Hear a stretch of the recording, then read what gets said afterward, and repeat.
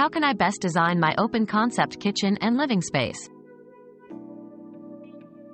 Designing open concept kitchens and living spaces combines aesthetics with functionality, creating a seamless flow between cooking, dining, and relaxation areas.